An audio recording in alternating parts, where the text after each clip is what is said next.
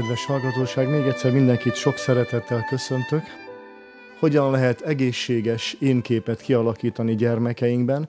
És amikor először erre gondoltam, akkor még ugye a címben nincs, benne, nincs az benne, hogy a gyermekeinkben. Először azt hittem, hogy hogyan alakítsunk ki egészséges énképet a feleségeinkben.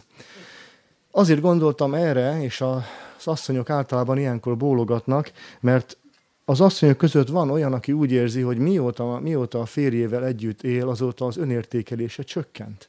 Úgy, ért, úgy érzi, hogy azóta nem tudja magát úgy elfogadni, semmi sem jó, biztosan vele van a probléma, biztosan neki kéne jobbnak lennie, hogy szeretetre méltóbb legyen, hogy jobban el tudja fogadni a férje. Tehát az, az anyák, az asszonyok valószínűleg jobban meg tudják érteni, hogy milyen óriási jelentősége van annak, hogy milyen visszajelzéseket kapok a másiktól, hogy hogyan értékelem magamat.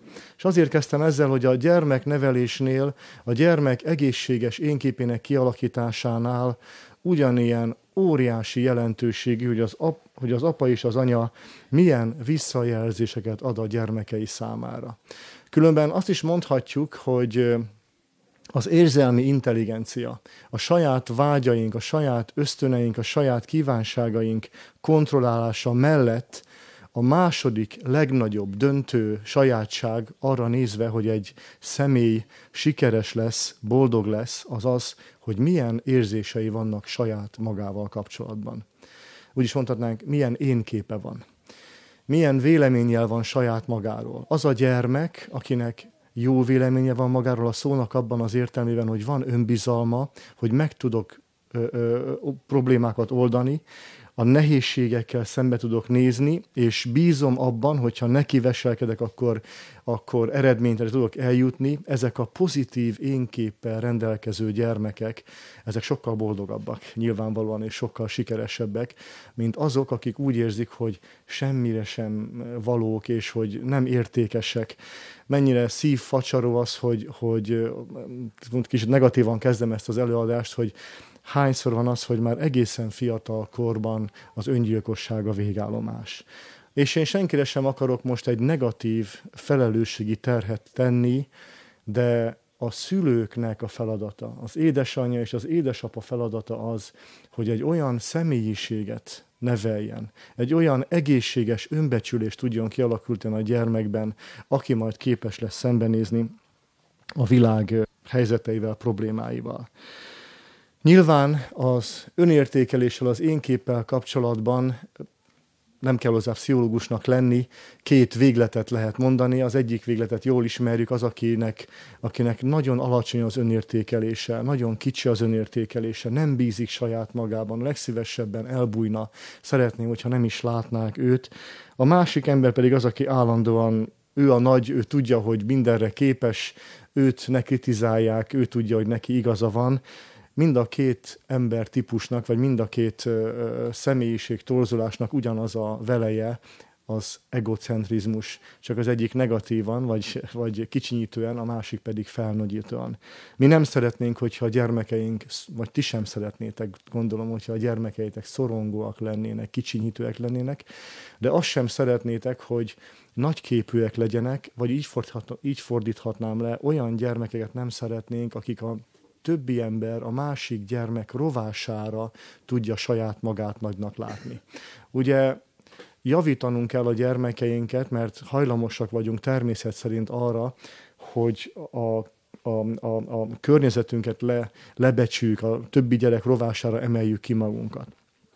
De ezek mind-mind pótcselekvések. Gyermekkorban még nem annyira, de felnőtt korban az a nem, nem egészséges énkép kivédésének az egyik leggyakoribb eszköze, azt a pszichológia így hívja, hogy, hogy pótcselekvéseket végzünk, ilyen például, hogy elfolytom azt, ami, ami tudom, tudom magamról azt, hogy valamiben nem vagyok jó, de erre nem gondolok, ezt elfelejtem, vagy ellentétbe fordítom, hogy, hogy de igenis jó vagyok benne, vagy elkezdem racionalizálni, hogy azért nem vagyok jó, mert nem én tehetek erről, hanem a feleségem, a férjem, a körülmények, tehát mindenféleképpen próbálom levenni magamról a terhet, hogy valami probléma van velem.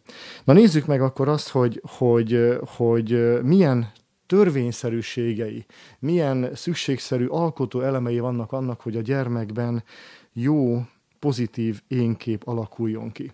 Itt egy záróes megjegyzést teszek, mert a hallgatóság között sokan vannak, akik a Bibliát ismerik, és tudom, hogy most olyan nagyon, nagyon ö, ö, keskeny mesdjén lépegetek. Mert amikor az énképről beszélünk, akkor a felszínes bibliai megértés, vagy keresztény megértés azt mondja, jó, de a, de a gyermek legyen tisztába azzal, hogy ő eredendően rossz hogy ő benne a teste mindenféle rosszat akar tenni, és neki ezt szabályozni kell. Lehet, hogy nekem van ilyen bibliai, antropológiai képem, vagy ha magyarul lefordítom, ilyen az emberről alkotott tudásom, de ezt a gyermek nem, nem kötöm az orrára, hogy a nevelés célja, kedves gyermekem, az, hogy a benned lévő óembert megöldököld, és egy új embert alakítsál ki, mert a gyermek nagyon ö, nagy csillogó szemekkel fog nézni, de ezzel nem tud kezdeni semmit sem.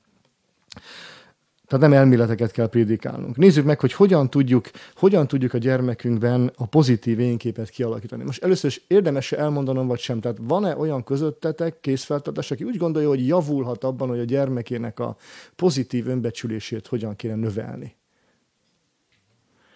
Bíztam abban, hogy hazamehetek, de túl sokan emeltétek föl. Rendben van a sok kéz azt is jelenti, hogy érzékeljük, érezzük azt, hogy mi tehetünk azért, hogy a gyermekünknek pozitív énképe legyen.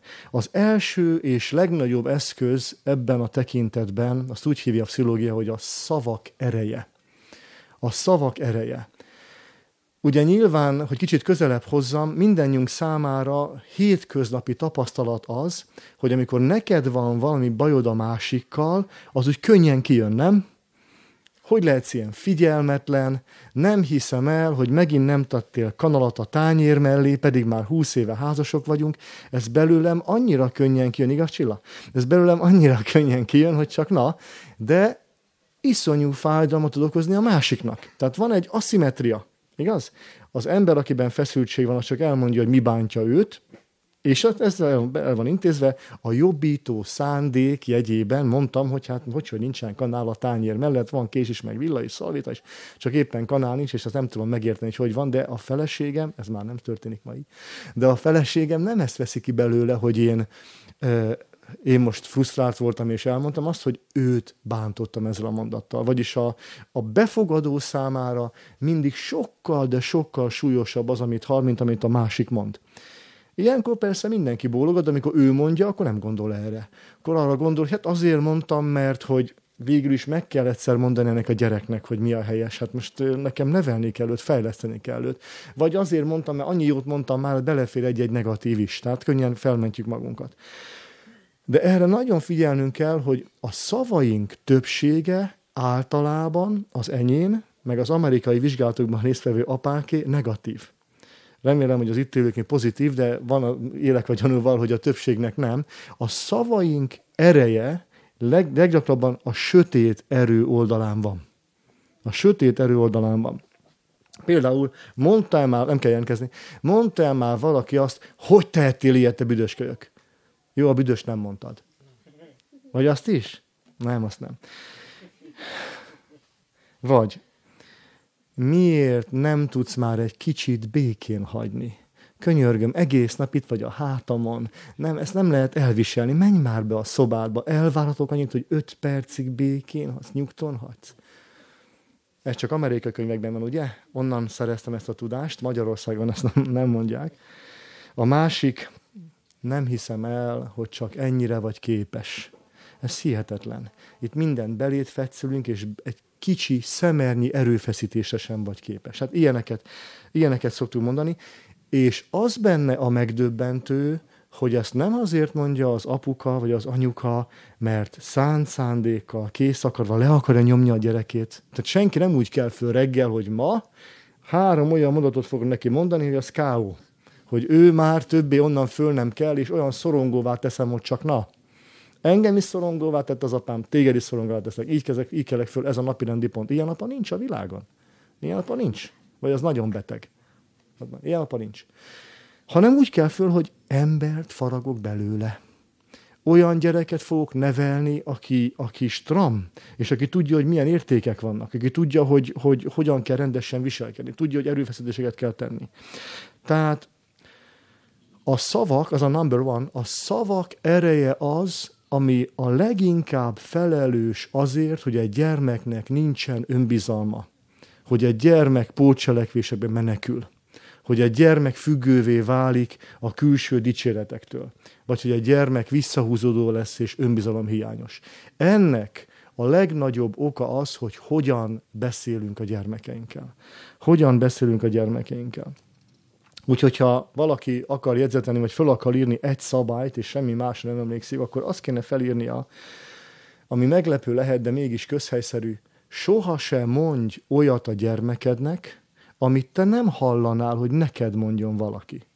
Azért kezdtem úgy az előadás elején, hogy az anyuka vagy a feleség, akinek nő, nincs önbizalma, az pontosan tudja, hogy azért van, mert ahány évet élt a férjével, annyival csökkent az önbizalma, annyi minden negatív visszajelzést kapott már a férjétől, ugye? Persze vannak itt önbizalomtól duzzadó feleségek, én tudom, ők a bal oldalon ülnek az ő, az ő férjük állandóan pozitív, elmondja, hogy, hogy, hogy mennyire tiszteli őket, mennyire becsüli őket, hogy a gyermekeket ilyen jól nevelik, és csak a jobb oldalon ülnek azok, akiknek a férjük negatív. De azt, azt látom, amikor emberekkel beszéltek, hogy a többség azt mondja, hogy, hogy, hogy, hogy, hogy nem is nagyon beszélgetünk, és nem is nagyon kapok pozitív visszajelzést. Akár gyerek vagyok, akár kamasz vagyok, akár felnőtt, férfi vagy nő vagyok, azon múlik, hogy hogyan érzem magam, azon múlik, hogy hogyan nézek önmagamra, hogy milyen visszajelzéseket kapok. Úgyhogy, ha valamilyen elhatározással szeretnétek élni, akkor határozzátok el azt, hogy a ti szavaitok ereje az a fejlődés felé, az a, a, a, a, a személyiség kibontakozása felé fog fordulni. Nézzük, nézzük meg azt, hogy egyáltalán lehet-e mondani ahelyett a mondat helyett, hogy hogy tehettél ilyet? Hogy csinálhattad ezt? Ami jön belül azonnal, automatikusan, ehelyett a mondat helyett lehet-e valami mást, mást mondani? Például lehet azt mondani neki, hogy, hogy, hogy, hogy jaj de, jaj de sajnálom, hogy kilocsant a tej, segítsek feltörölni. Ez is egy mondat. Tudom, hogy azt mondod, hogy hát ilyet Józsi, ne képzelj, hogy én ilyet tudnék. Nem elég, hogy szétszakadok, elmondtam a gyereknek, hogy ne töltse csurig azt a poharat, és ő richtig csurig, csurig tölti. Igaz? Richtig. És addig néz, hogy mit csinál, és szinte engem akar egrecióztatni. Még jó oda mondok neki de a gyermeket azért kaptad, mint Isten ajándékát, hogy tükörként meglásd magad benne, hogy elég kettő forint értékű tej, hogy kilocsanjon, és te már azonnal millió forintnyi kárt okozol a gyermek személyiség fejlődésében. Erről szól a történet. Határozz el magadnak azt, téged a gyerek nem tud behúzni amikor kilocsantja a tejet, akkor lehet, hogy meg sem szólalsz, csak azt mondod, itt van egy másik pohár, és itt van a rongy is. Gondold el, hogy erre a mondatra és erre a mozdulatra a gyerek milyen hálás lesz belül. El sem tudod azt képzelni. El sem tudod azt képzelni. Az, az összetöri a szívét a gyermeknek. Az úgy töri össze a szívét, hogy szeretni fog téged, tisztelni fog téged. Azt mondja, hogy hát nem, nem hiszem, hogy ilyen kedves édesanyám van ezek a gyermekek a modell alapján eltanulják, hogy ők is így fognak majd, ha lány, a saját lányához fordulni, ha fiú, így fog majd a saját gyermekéhez fordulni. Nem ilyen célotok van? A minta alapján bemutatni azt, hogy hogyan kell korrigálni azt a viselkedést, hogy valaki szándékosan vagy nem szándékosan, ügyetlenül vagy kész akar vagy, vagy akaratlanul kiöntötte a tejet. A tej kiöntését, a kilocsanását nem úgy kell látni, mint, mint egy, egy alkalmat arra, hogy hogyan törjem le a bennem lévő negatív impulzusokat, hanem egy olyan alkalomnak kell látni a tej kilocsanását, hogyan tudom ennek a gyereknek megtanítani azt, hogy milyen a türelmes szeretet. Ja, hogy te nem ilyen vagy. Én mondtam az elején, a gyermeknevelés önnevelés. Lehet, hogy amikor először kilocsant a tej, először leesett a kanál levessel együtt a földre, akkor, akkor még rosszul reagáltál. De amikor este átbeszéled magaddal, vagy a férjeddel, vagy a feleségeddel, akkor elhatározzátok, hogy a, már alig várom a következő étkezést, amikor le fog esni a kanál. Mert megmutatom a gyereknek azt, hogy itt van egy másik, és tessék a törlőrongy. Értedek, ugye? Minden mondatot ki lehet cserélni. Minden negatív erejű mondatot át lehet cserélni pozitív erejű mondatra. miért nem tudsz már nekem egy kicsit békét hagyni? Hagyjál már, nem látod, hogy már egyszer nem, nem, most már elegem van belőle. Ezt a mondatot meg lehet mondani úgy, csak még egy pár percet kérek, amíg ezt befejezem, és utána segíteni fogok neked, vagy utána szívesen játszom veled. Lehet, hogy az elsőre nem működik, de legalábbis így tanultuk annak idején a pszichológiai képzésen, ha a szülőben, a nevelőben benne van a szándék, hogy a negatív impulzusait leküzdve pozitívra cseréli, akkor idővel a szándék először képességé, később pedig készségé válik, már automatikusan pozitív lesz. Persze egy életen át tart. Nézzük akkor a szavak ereje mellett, melyik a második, a kommunikáció óriási hatása van a gyermek énképére. A második legnagyobb ilyen hibás irány, ami szinte determinálja a gyermeket arra, hogy ne legyen boldog, az az, hogyha, hogyha és, az a, és mi magyarok ebben nagyon művészek vagyunk, a negatív ö, értékelés, a negatív visszajelzés. A három sajátsága van, ide fölírtam magamnak. Az első sajátsága, hogy amit látok, abból a negatívot emelem ki, tehát ugye az egyszeri anya, az egyszeri, inkább az apákhoz szólok, az egyszeri apa az azt mondja, ha minden rendben van, akkor csöndben vagyok, inkább nézem a tévét. A jót nem kell megfogalmazni, az úgyis jó, magától működik. Jól érzem magam, a családom rendben van, minek mondjam azt, hogy annyira örülök, hogy a, hogy a, hogy a, hogy a, a cipők szép sorrendben vannak a cipőszekrényen. Ezt nem kell megjegyezni, ez fáradtságba is kerül. De azt elmondani, hogy te büdös azonnal takarodsz a fürdőszobába, ezt már simán mondjuk, ugye? Ezt már nem, nem, nem ti, hanem, hanem, hanem durvább családokban. A negatívat emeli ki, gyakran címkéz, majd mindjárt látjuk a példát, és, és ha lehet, belefűzi a mondatba azt, hogy mindig vagy soha. Tudnátok ilyen mondatot mondani? Magatokban gondoljátok, hogy tudtok ilyen mondatot mondani, ami negatív, címkéz, és benne van az, hogy a gyerek, meg hogy mindig, meg soha. Mondtatok ilyet ma is?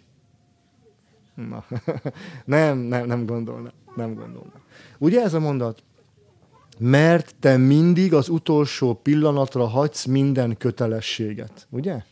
Hogy lehetsz ennyire lusta disznó? Ebben a szobában soha sincsen rend, ugye? Lusta disznó vagy, soha sincsen rend. Negatív, címkéz, és tesz hozzá egy idői határozat. Ebből a gyerek azt érti meg, hogy ő egy negatív, egy negatív ember, el van könyvelve, hogy az, és nincs is esély a szülőnek a, a megítélése szerint, nincs is remény arra, hogy valaha változzon. Emlékeztek, tavaly találkoztunk, mondtam nektek F. Várkonyi Zsuzsa könyvét, a címe nagyon érdekes, már százszor megmondtam, ebben nincsen negatív, csak egy kicsi.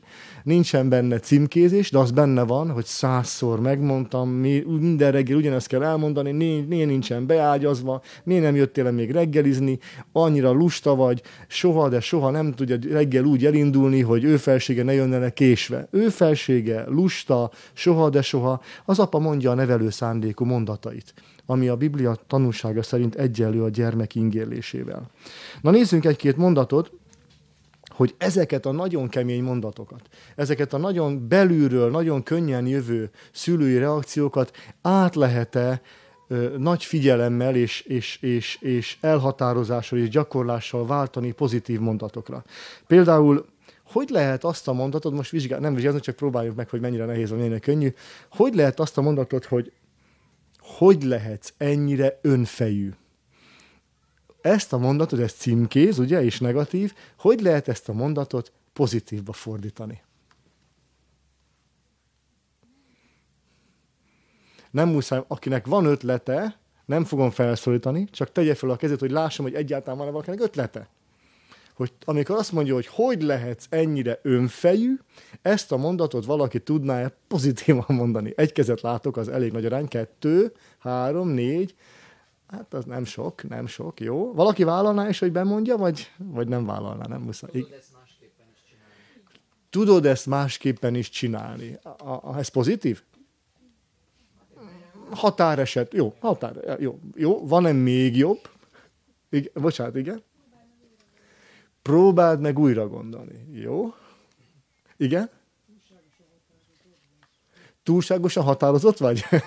hogy lehetsz ilyen önfejű, túlságosan határozott? Jó, jó, jó, oké. Okay. Na, örül, értékelem, hogy már a szándék bontakozik bennetek. Ez a lényeg. Amikor az ember egy nyelvet elkezd tanulni, mondjuk most elkezdenénk tanulni szanszkritul, és mondanám, hogy most megvolt az első lecke, most mond vissza, amit hallottál, lehet, hogy még három kés sem lenne. Igen? Értékelem a véleményedet. Hogy lehet ilyen öpé? Értékelem a véleményedet. Igen, nagyon, nagyon, nagyon jó, nagyon, nagyon, nagyon jó. Jó, jó, jó. Ez tetszik nekem, hogy már egyre jobb. Na én is fölírtam egy lehetőséget, persze ilyenkor mindenki az a, az a jó benne, hogy meg az előadó, hogy utána meg, hogy á, az enyém sokkal jobb volt, mint a tiétek. Na jó, azért én is felírtam egyet.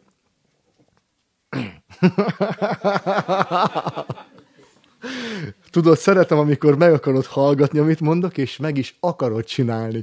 Tehát az ő önfejűségét átfordítom abba, hogy én azt mondom neki, hogy az akaraterőt arra fordított, hogy meghallgatod, hogy mit mondok, és annyira szoktam örülni, amikor meg is akarod csinálni. A negatív értékelés helyett vázok neki egy pozitív, pozitív képet. Amit hall a gyerek magáról, amit hall, hogy mit gondolunk róla, azt interiorizálja, az belsővé válik benne, és meg akar felelni tudattalanul is, ösztönösen is annak a gépnek. Erről még lesz később szó. Nézzünk egy, köze, egy, egy közepesen nehéz mondatot. Soha se tiszta a szobád, ez az egész olyan, mint egy disznó a disznójával együtt. Ugye, be van label, van benne címke, van benne negatív, na ezt hogyan lehet átfordítani pozitívra? Most már fejlődtök mi ez a disznó, nem hiszem, hogy olyan vagy, mint egy mocskos disznó. Igen, hogy lehet ezt a negatívat átfordítani? Igen. A múltkor olyan szépen kitakarítottál, igen. Ez egy nagyon jó kis kihívás ma este, hogy ragyogó rendet csinálj, oké. Okay. Értékelem a szándékot, egyre jobb és egyre jobb, igen. Igen. Nekem ez is nagyon jó, ez is nagyon jó. Én azt mondanám, nagyon nehéz egy ilyen rumli szobát rendbe rakni, de én tudom, hogy te meg tudod csinálni. Jó, a lényeg az, hogy, hogy benne van a tény, hogy a szoba rumlis, vagy sok játék, még ezt lehet javítani, nagyon sokféle játék van szerteszét, hosszú időbe telik egy ilyet rendbe rakni, de én tudom, hogy meg tudod csinálni. És leülök vele együtt segíteni. Az is nagyon szép dolog, hogyha az ember így csinálja. A másik, a kihívás, főleg a kicsiknél, akik fantáziából is hazudnak. Hogy lehetsz ilyen hazudós?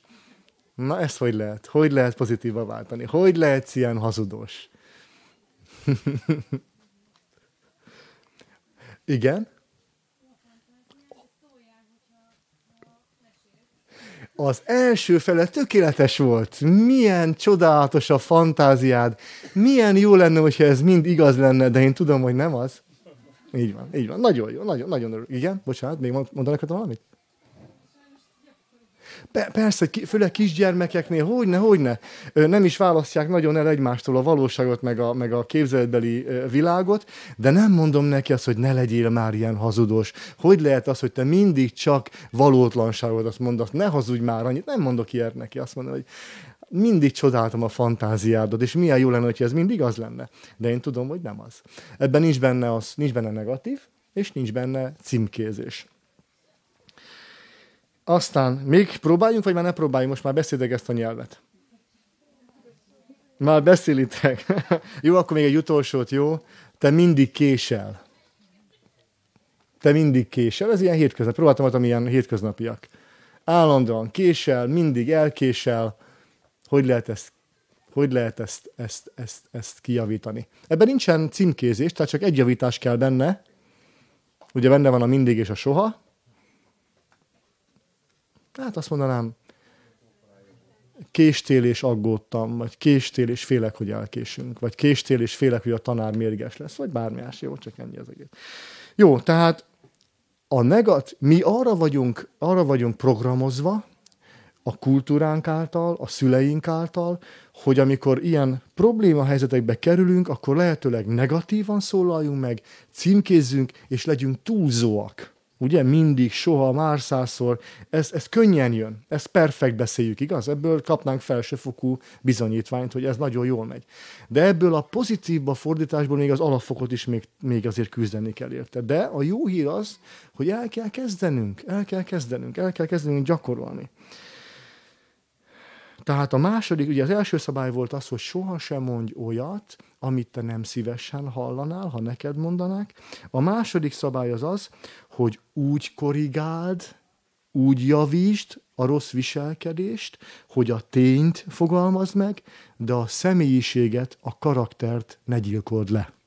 Jó, ugye mostanában ezek a karaktergyilkosok, így a gyerekpszichológiában úgy értjük ezt, hogy amikor a személyiséget rombolod keményen, az önbecsülést, hogy, mag, hogy, hogy, hogy, hogy tudja, hogy egy jóra való kisfiú, vagy egy kislány, és hogy ő jól tud viselkedni.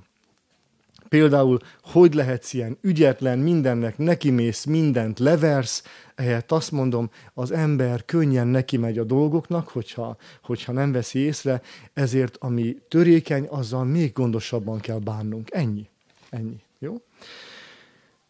Itt persze be kell, megkérdezni, meg kell egy pillanatra, mert most értünk el arra, arra a lelki pontra, amikor kezdek azt gondolni, ezek a pszichológusok a rózsaszín felhőben járnak. Ő nekik nincsen saját családjuk, nem tudják, milyen a valóság. Próbálnám én az én gyerekemnek azt mondani, hogy, a, hogy az embernek jobban kell figyelni a törékeny dolgokra, mert akkor mit mond, hogy mondana? Ugye ezt, ezt gondoljátok, nem? Vekerdi, Vekerdi ezt így fogalmazta meg, az apák tudják, minden pszichológus hülye. De a pszichológusok azt is tudják, hogy amikor ezt gondoljátok, akkor azt, akkor azt nem szoktátok hozzátenni, de ezt én még nem próbáltam meg. Én eddig csak úgy beszéltem hozzá az anyanyelvemen, így elsz, hogy anyád, ezen a nyelven beszéltem hozzá. És nem úgy beszéltem, nem úgy beszéltem hozzá, így ezen a pozitív megcserélőn. Kezdjük el tanulni ezt a nyelvet. Kezdjük el tanulni, kezdjük el gyakorolni magunkat benne. Nem csak a gyerekek, a gyerekeken nehéz, a feleségeken nagyon könnyű. És a feleségek még ráadásul hálásabbak is, mint a gyerekek. Mert a gyerekeknek nagyon sokszor kell ezt megtenni, amíg a rossz rossz átáll a jóra, a feleségek annyira ki vannak éhezve a jóra, hogyha kapnak egy-kettőt, már nagyon-nagyon mosolnak, és már nagyon-nagyon szeretnek benneteket, férfiakat. De a feleségek is megpróbálhatják gyakorolni a férjeiken hogy lehetsz ilyen lusta, nem hiszem el, hogy neked csak a foci, meg a sör, és ott vagy a fotelben, ez, ez hihetetlen, hogy egy ilyen emberhez mentem hozzá. Ez a mondat, ez címkéző, túlzó és negatív, ugye? A férjekkel is lehet gyakorolni, a feleségekkel is lehet gyakorolni. Na nézzük a harmadik építő elemét, az, a, a, a, az énkép fejlesztésének, javításának. Ezt nem tudom jól körülni, azt mondanám, hogy ez a, ez a közvetett üzenetküldés, a közvetett vélemény. Mit is értek ez alatt, meg mindjárt, mindjárt megmondom. Például nagyon sokat köszönhetek Csillának, mert nálunk kétszintes a, a lakásházunk, és, és csak egy, egy, egy nyitott lépcső vezet föl a két hálószobába, és egyik hálószoba az egyben a velünk maradó legfiatalabb gyermekünk, nek a szobája is egyben. Tehát ugye nyilván neki nincs külön állószoba, saját gyerekszobában alszik természetesen, mint minden normális magyar gyerek, akinek van gyerekszobája. De mivel ilyen nyitott, ezért mikor mi len vagyunk a konyha étkezőben és beszélgetünk, akkor mi tudjuk, hogy amikor kedve tartja, ő simán lefülel, hogy már úgy értem, hogy lehallgat, hogy mi zajlik lent. És ez minden, minden gyereknél teljesen normális. A mai leckéknek nem anyaga az, hogy, hogy hogyan kell a gyerekeknél plusz élményeket szerezni, de ő gyakran engem figyelmeztetett arra, és milyen igaza van, és ezt szeretném közkincsé is tenni, hogy most mondjál valamit hangosabban róla, hogy mennyire büszke voltál, amikor rendbe tette az iskola cuccait. Én annyira büszke voltam, amikor rendbe találtam a cuccokat, mondom így félhangosan csillának, és akkor ő is örül, meg a gyerek is örül fönt. És azt akarom mondani,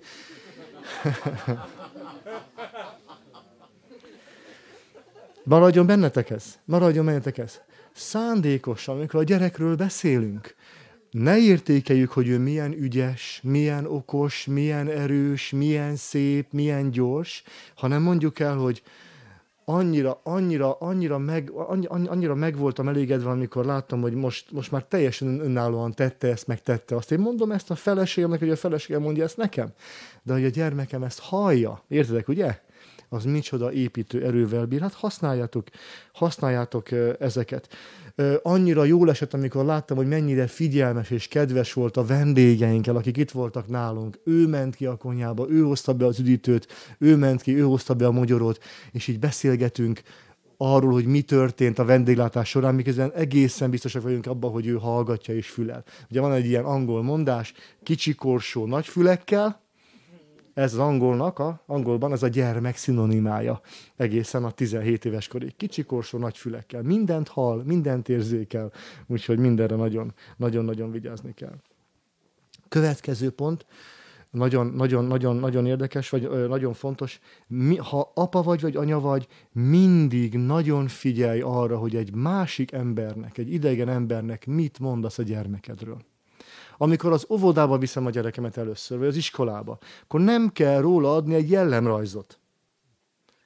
Azt kell mondani, ami pozitív benne. Azért, mert a pszichológus ezt mondta.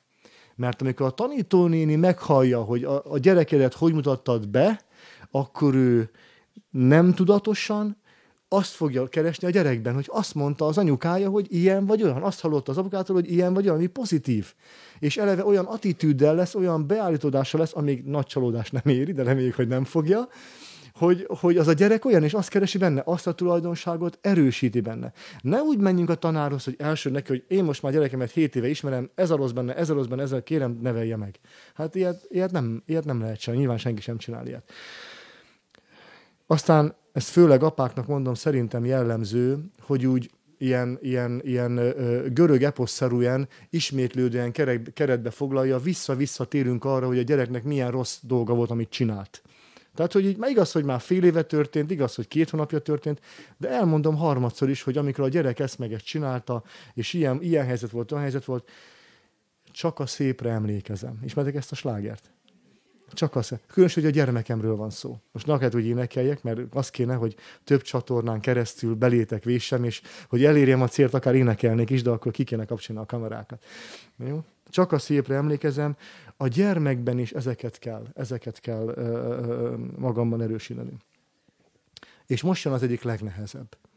Amikor én a gyerekre negatívan, címkézve túlzóan beszéltem, vagy egy másik embernek, csak azért, mert beszélgessünk, mondtam neki olyat, ami a gyerekről rossz volt, akkor menjek oda a gyerekhez, amikor négy szem közt vagyunk, és kérjek tőle bocsánatot.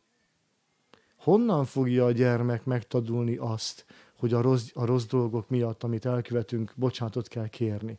Az is igaz, hogy mond, azt megmondom neki, hogy most kéri bocsánatot, és megtanulja, hogy bocsánatot kérjen, de azt csak azt mondom, hogy én elvárom tőle, hogy bocsánatot kérjen, ha nem lát példát. Ha nem lát példát. Tudjátok, mindig elmondom, nekem fantasztikus, apukámból sok, sok, tehát rossz emlékem nem nagyon vannak a legrosszabb élményem az volt, hogy, hogy a hogy pingpong labdával pingpongoztam, és utána mondta, hogy már nagyon fáradt, tegyem le azt a, azt a cuccot, és, és tegyem le a, a, a székre. És letettem a székre, és a székről véletlenül, mikor elfordult, a labda leesett, és a parkettán elkezdett pattogni. És ő azt hitte, hogy én még tovább is folytatom. És megfordult, és tss, kaptam tőle egy tocit. Erre már nem emlékszem, csak tudom, hogy ez volt az eredménye. És nem is tudom, hogy fájt-e, vagy nem fájt-e. De azt tudom, hogy amikor meglátta, hogy az ütő a, a széken van, a labda pedig lent van a parkettán, akkor oda jött hozzám, az ölembe vett, és azt mondta, bocsáss meg nekem, nem vettem észre, és én akkor annyira sírtam, az, azon ezt nem tudom elfelejteni. Ez egy annyira mélyen bennem maradt, és ez nem úgy maradt bennem, hogy, hogy apám ilyen igazságtalan volt, hanem úgy maradt bennem, hogy micsoda szeretetre méltó apám van. Fantasztikus, hogy ilyen, ilyen volt, és én is ilyen apa szeretnék lenni. Tehát amikor az ember a gyermekétől bocsánatot kér, akkor nem, ne kezdjen kifogásokat keresni, hogy tudod, mondtam róla sok jót is, ez az egy rossz, az belefért, az nem, az nem változtatja meg a véleményét annak a másik embernek. Nem, azt kell mondani, sajnos ezt elhibáztam, rosszat mondatról, mondtam rólad, bocsáss meg, és törekszem arra, hogy legközelebb ne legyen ilyen. Ez tökéletes rendezése a dolgoknak. Negyedik. Bírjátok még? Akkor mondom tovább, ha el tudjátok mondani az első hármat. Na? A szavak ereje, igen. A negatívak pozitívba formálás, ez volt a második, és a harmadik?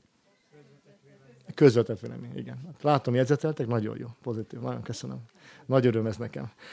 Jó, a negyedik az, az ö, már a viselkedéssel kapcsolatos.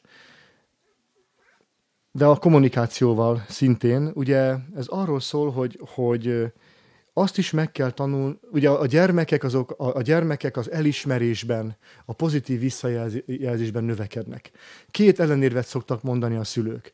Az egyik ellenérv, hogyha a gyermekemet állandóan dicsérem, már itt is van, hogy állandóan, ugye? Látjátok, állandóan, hol dicsérő állandóan, de mindegy, így kérdezi, ha állandóan dicsérem, közben, hogyha felvennénk mikrofonra azt az állandót, akkor megnézem, hogy ez milyen állandó lenne. Ha a gyerekemet állandóan dicsérem, akkor majd olyan emberré válik, hogy állandóan keresi, hogy valaki dicsérje őt. Ugye az első ellenév, ami szokott lenni. A második ellenév, ami szokott lenni, hogyha állandóan dicsérem, akkor, akkor ilyen torz, torz, torz énkép alakul ki nála, és hát valamikor azért nevelnem is kell őt. Valamikor nevelnem is kell őt. Hát először is azt szeretném mondani, hogy amikor már megint amerikai családokról tudok csak példálozni, amikor amerikai családokat vizsgáltak, azt találták, hogy, hogy, hogy, hogy a, legjobban funkcionáló, vagy mondhatom úgy, a legboldogabb, legnagyobb boldogságos szinten rendelkező családokban olyan aránya volt a pozitív és negatív közléseknek, mint egy a négyhez, egy az öthöz. Most gondold el, hogy a te családodban így van-e? Hogy mondasz öt mondatot, amilyen értékelő jellegű, és abból csak egy negatív, négy pozitív.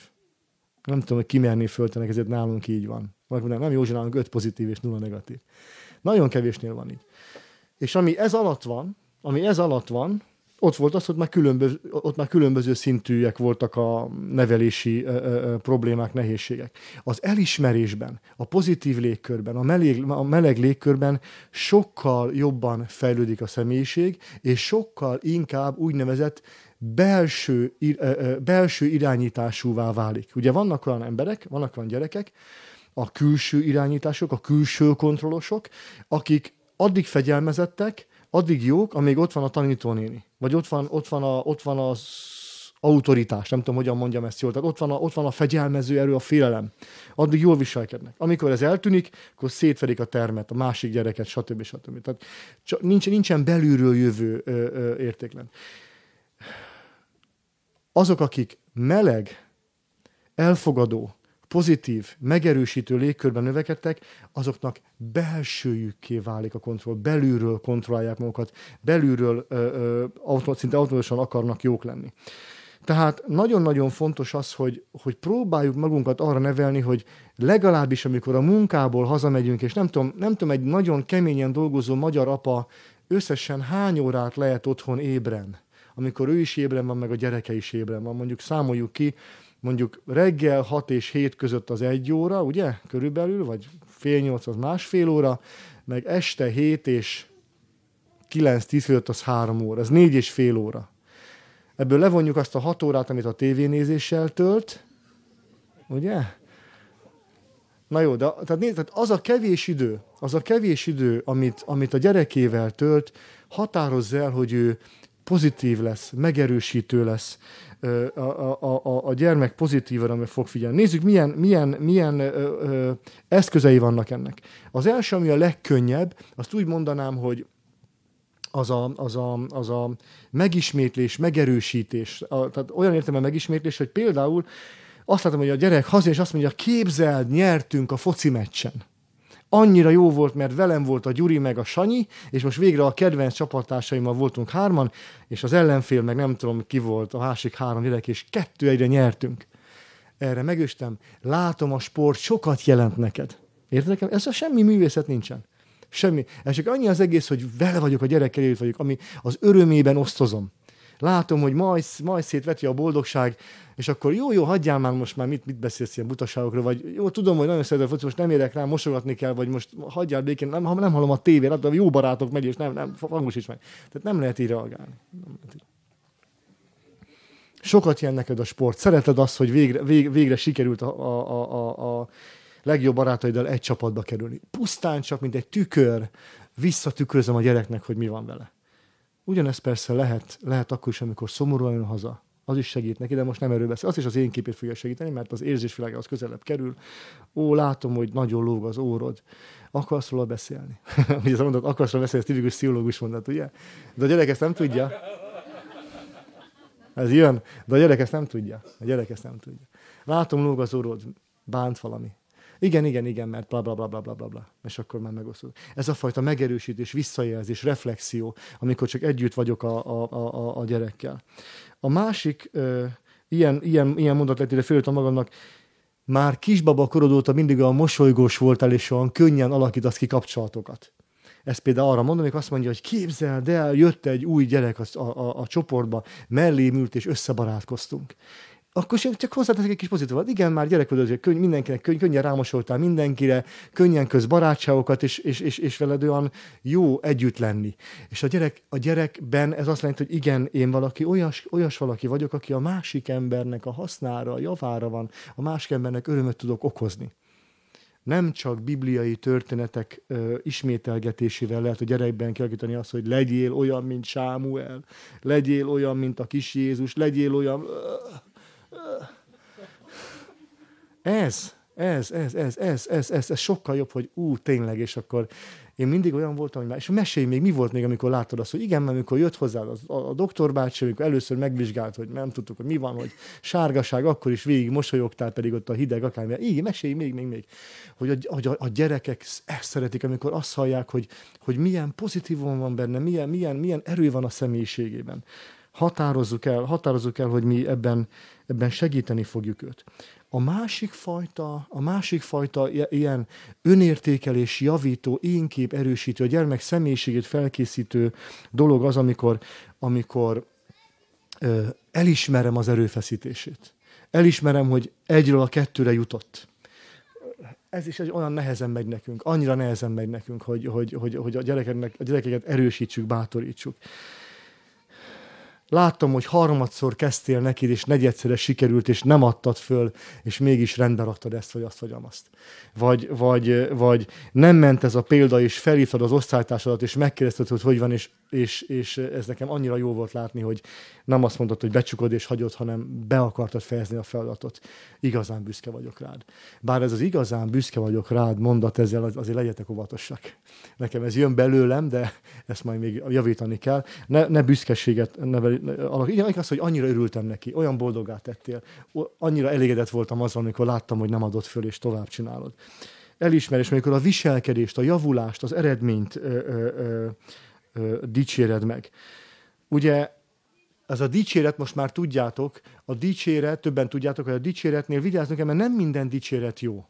Olyan okos vagy, olyan jó vagy, olyan ügyes vagy, amikor készültem erre az órára, mert még mondom, ebből a témából még sohasem tartottam, tehát ez most egy ilyen debütálás, akkor olvastam egy könyvet, ahol azt írta a pszichológus, hogy hogy, hogy, hogy mondjuk zárójel pszichoanalitikus volt valószínűleg, de ez mindegy. Szóval mentek a kocsival, a felesége ült jobb oldalon, ő ült a kormány mögött nyilván, és hátul pedig két gyerek, és és akkor mondott valamit a gyerekének egy hosszú út után, hogy, hogy te annyira jó fiú vagy, úgy szeretlek téged.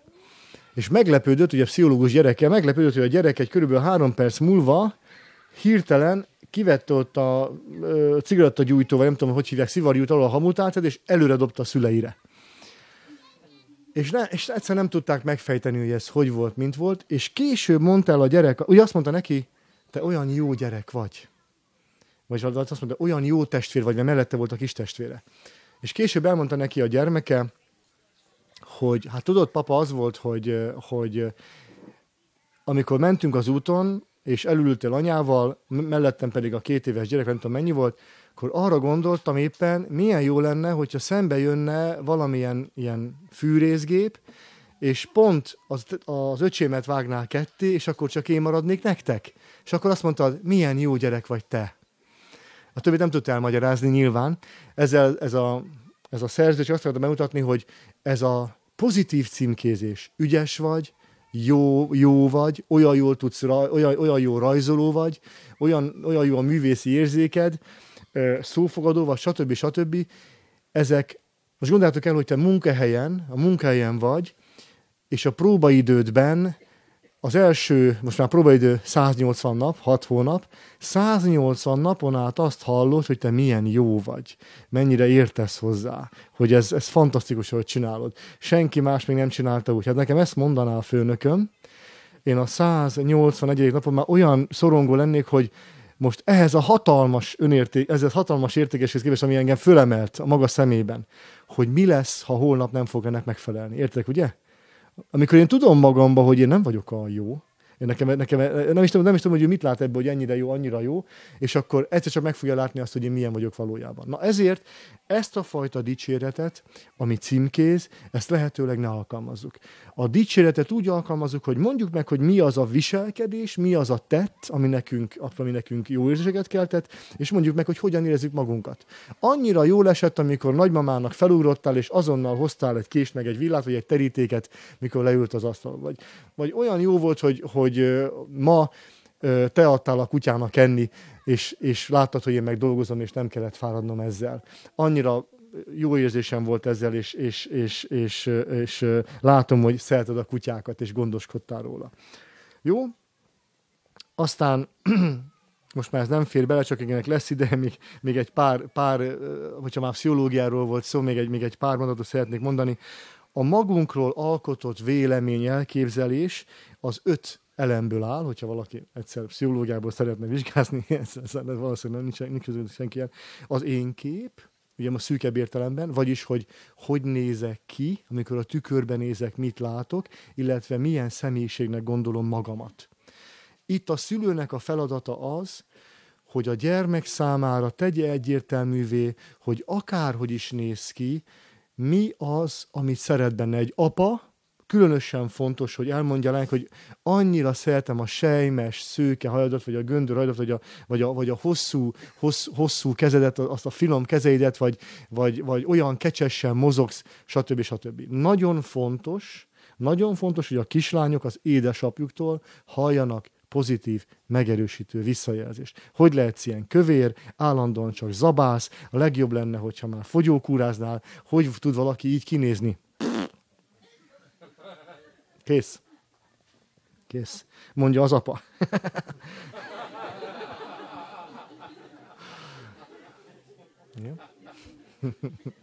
Látom, együtt éreztek.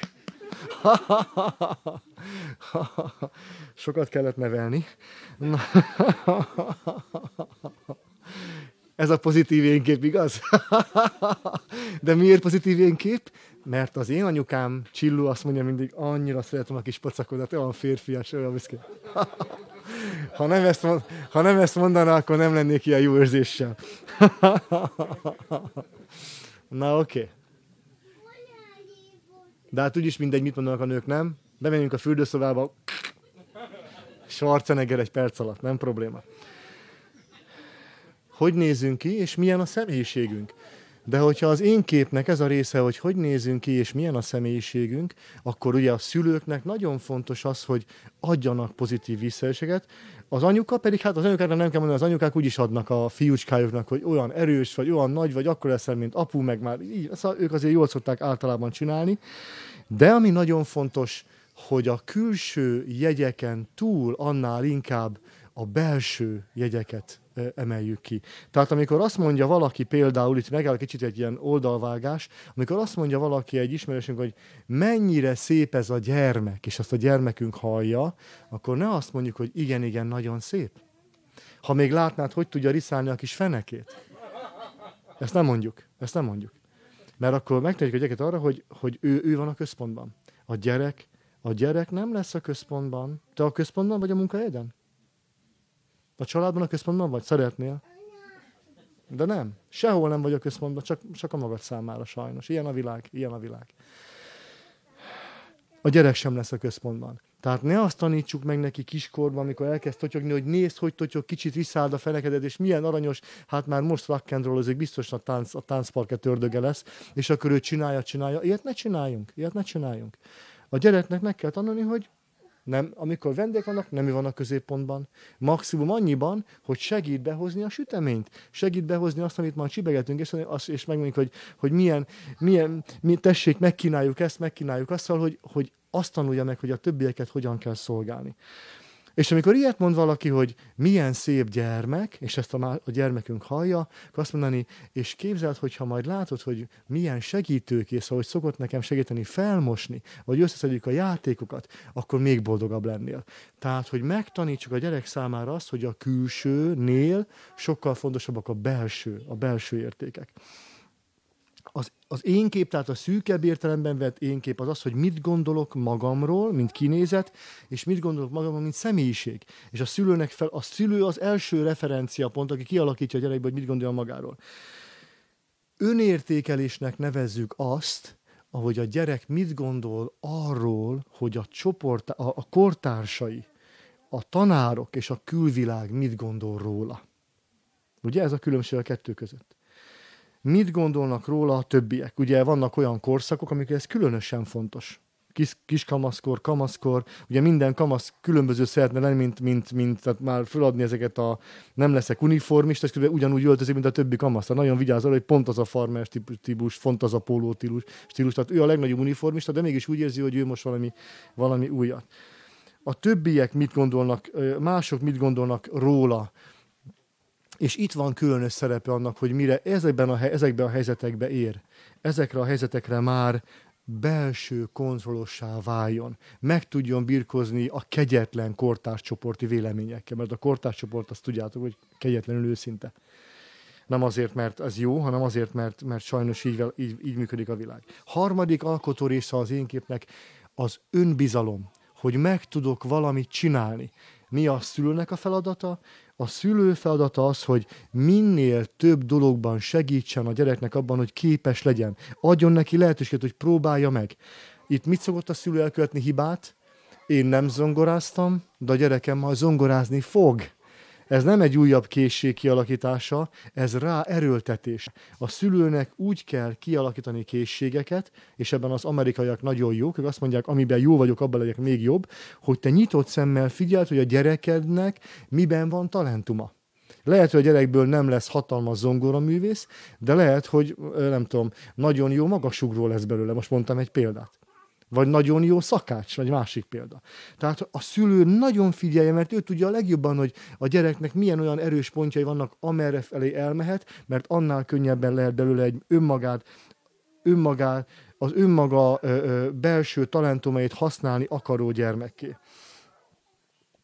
A negyedik része, és mindjárt befejezem, az az önbecsülés. Az önbecsülés az az, és egy kicsit az átmegy abba is, hogy már saját értékrendje van. Az önbecsülés az, hogy amikor tudom, hogy valami helyes, és azt megteszem, akkor hogyan érzem magam. Ez az önbecsülés.